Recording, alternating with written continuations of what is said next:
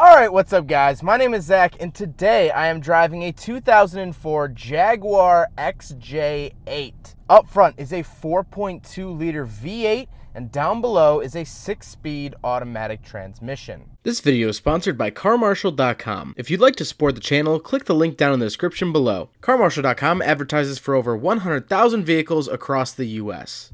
But let's get back to that 4.2 liter V8. Well, it's sort of in the same family as the 3.9 liter V8 from Ford. If you guys remember, I actually reviewed a 2004 Ford Thunderbird not too long ago, and that had the 3.9 liter V8 from Ford. Now, Jaguar was actually owned by Ford at the time of the making of this car, so there's actually a lot of Ford parts that go into making this, which is really nice because Ford parts are cheap.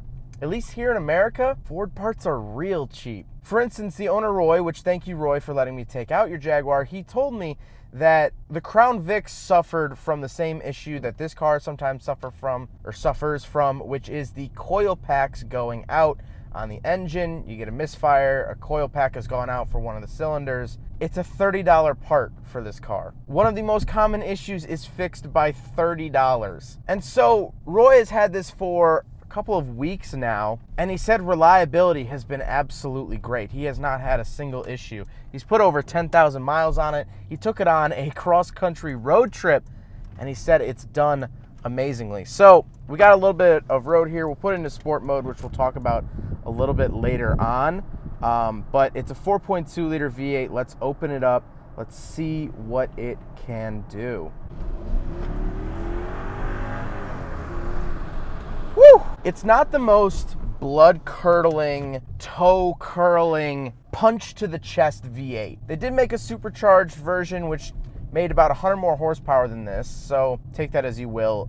But it definitely delivers solid, solid power, solid, reliable power. Online, you can find that it's rated at like 290 horsepower, but a lot of people say that Jaguar underrated it so then it would fit the tax exemptions that there were in Britain at the time. Whatever the case may be, uh, however many horsepower puts out, I'm not exactly sure. It's enough. It's definitely enough. It's sporty, and I like that a lot. And we'll talk about sport mode in a little bit when we get to the center console. The engine does actually get okay gas mileage. Like I said, Roy took this on like a 2,000 mile journey. He got about 26 miles to the gallon throughout his travels, and that was taking this on Tail of the Dragon all the way down to North Carolina, over to Missouri, and back up here to Chicago. So, 26 miles to the gallon for a big old V8, not bad at all. Now, like I said, paired to it is a six speed automatic transmission. It is a ZF transmission.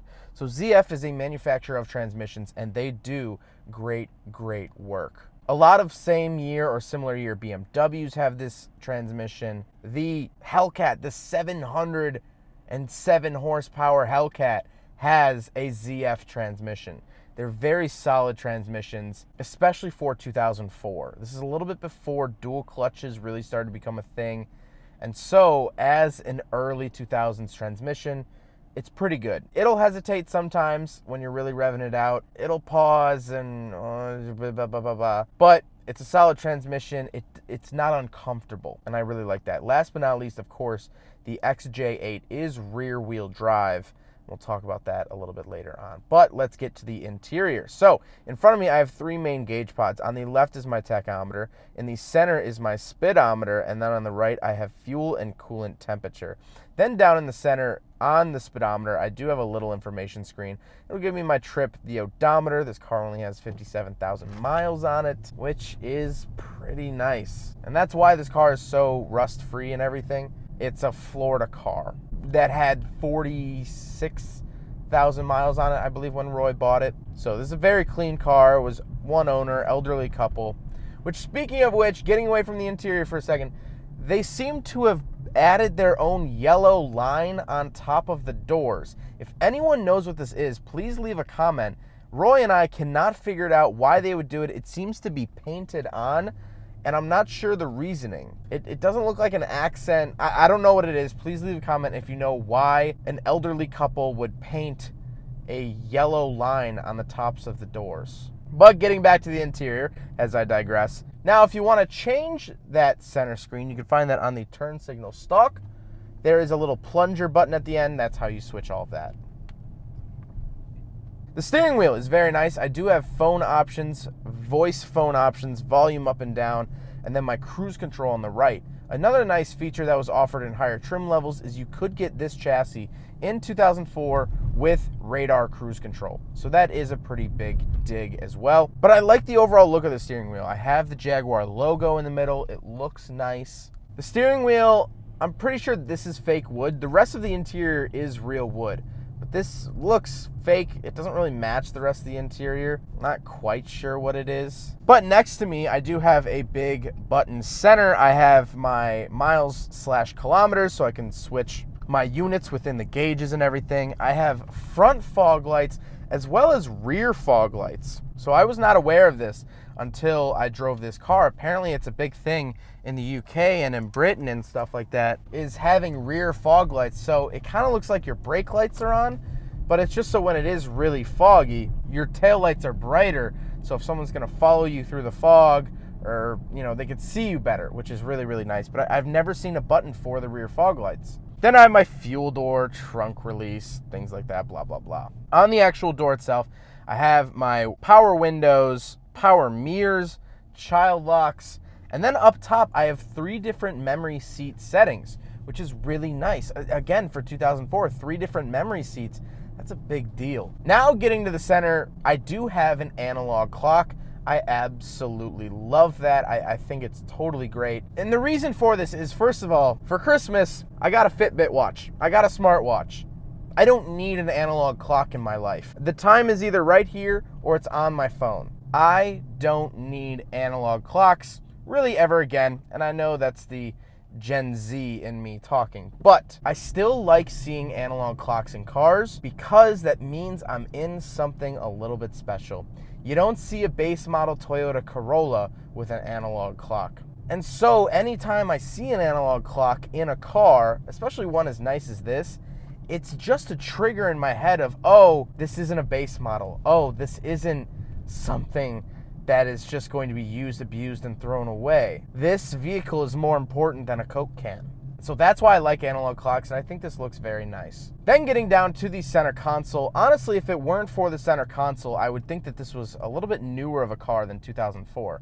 I mean, just genuinely speaking, but the screens here do kind of date it just a little bit. But up at the top, I have some interesting buttons. Heated seats for both the driver and the passenger, as well as the rear seats are heated, but we'll get there in a little bit. Then I have valet mode, so that will lock the glove box as well as set a speed limit.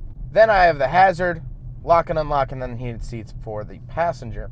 Coming down to below those buttons, I have my climate controls. Now, this is where I start to kind of wonder what the engineers at Ford slash Jaguar were thinking. There's a knob for the fan control with a little power button next to it. First of all, I've never seen a power button for a fan control. Usually you just turn it down to zero. But it is much larger than the radio volume knob. So, first instinct for me to turn down the radio is grab the biggest knob and twist probably a joke there, but it's not. The biggest knob is for the fan control, not the radio. It's, it just baffles my mind. I mean, you rarely use the fan control because this has auto climate controls.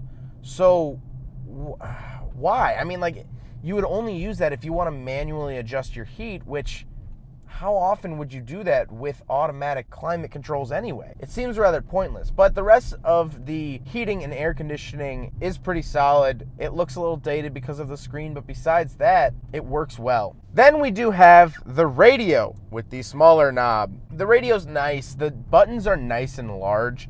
If your eyesight isn't great, this is not an issue because the buttons are so large almost comedically large, but I do have a number pad if my phone is hooked up. You know, this is sort of that era, the end of the era of the car phone, where it was kind of an option. BMW is famous for doing this. That if you look in the trunk lid, it sometimes it'll say that it was equipped with the optioned in-car phone which is kind of neat. But I have all my buttons and they work as they should. One of the most interesting buttons on the radio is the auto memory. So if you have your presets, you know, like everyone has in their car, they set their favorite stations 1035, 1075, B96, whatever you want to set it as, you could set it. However, in this car, it'll also do auto memory. So you don't have to set anything, it'll just remember your most visited or most listened to stations. That's really nice. Then coming down to the center, we do have a little cubby hole, which opens nice and slowly. Very, very nice to reveal a 12 volt outlet and an ashtray. Then we come to the shifter. Now, there's a bunch of interesting things with the shifter. It's a very weird shifter, and so let's get into it. First and foremost, let's talk about sport mode. So this car does have sport mode, and unlike most other cars from the 2000s and even some today, this isn't just a oh it shifts at a different point, it gives you a little bit sportier feeling. This car does have air ride suspension. You might hear it whizzing every once in a while in the background of the video.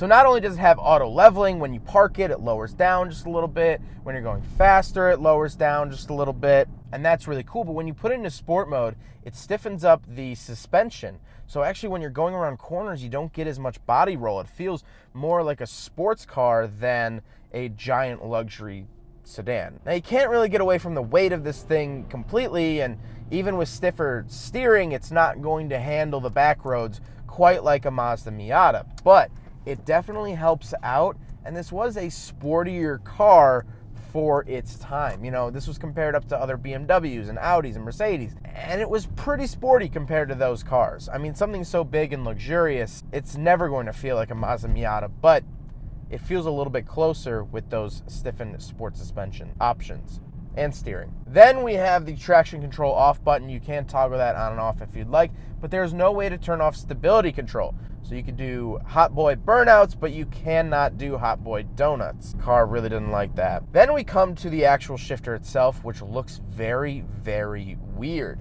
So I have park, reverse, neutral, and drive. That's all fine and dandy, sure, very normal there. But I can go over to the right and I can actually put it into second, third, fourth, fifth, and technically drive is overdrive, so I guess you could put it into sixth manually if you want to call it that, but it's really weird. I can actually ratchet it myself. I can put it into second, third, fourth. I've never seen a shifter like this where you shift it over and then you have like a whole different column of shifting. It's very interesting. This is sort of their manual mode.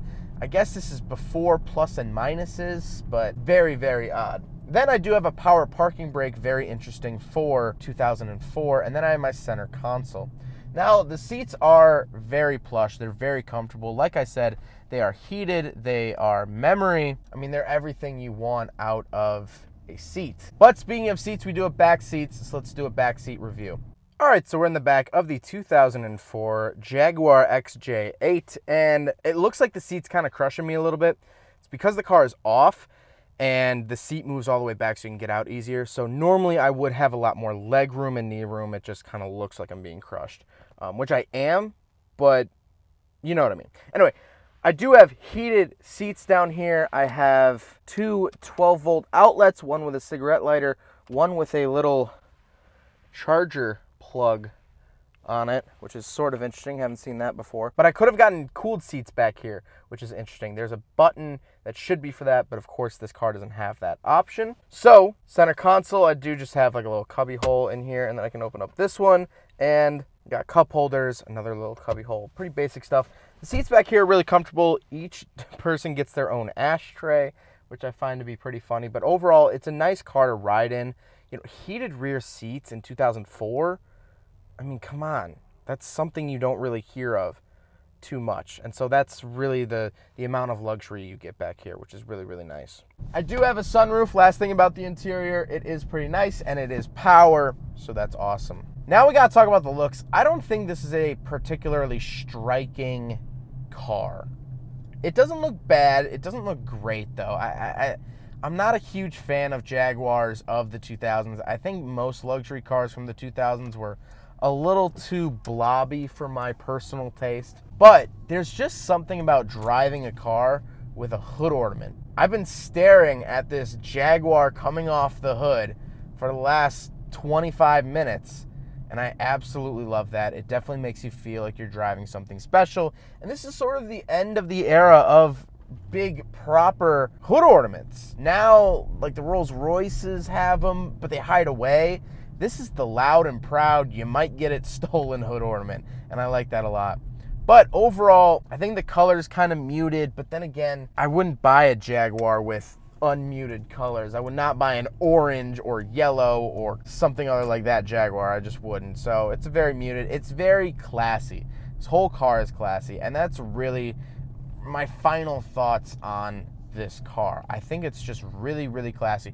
It's surprisingly classy. I didn't think it would be as nice. They're a lot nicer and a lot sportier than I thought. It really does blow me away in a couple different ways. First of all, with the air ride suspension, it really does change the way the car feels. It just does. And second of all, all of the features and all of the possible features. This is nowhere near the top trim level of the XJ chassis, but hearing Roy talk about it, you could get it with radar cruise control, with rear heated and cooled seats. That's why there are dead switches in this car because those are for the cooled seats. This car doesn't have that, but it was offered with that.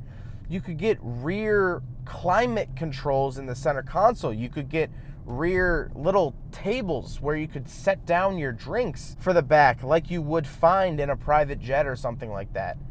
It's really astonishing all of the features that could have been specced out with this car. And so while this is very nice, the ceiling is so much higher. And to me, that that is astonishing and that is really really interesting. Well, I hope you guys enjoyed the video. Again, huge thank you to Roy for letting me take out his Jaguar XJ8. So, thank you guys so much for watching. Hope you guys enjoyed the video. Don't forget to rate the video, comment on the video, and subscribe if you really liked it. Take care, guys. I, I,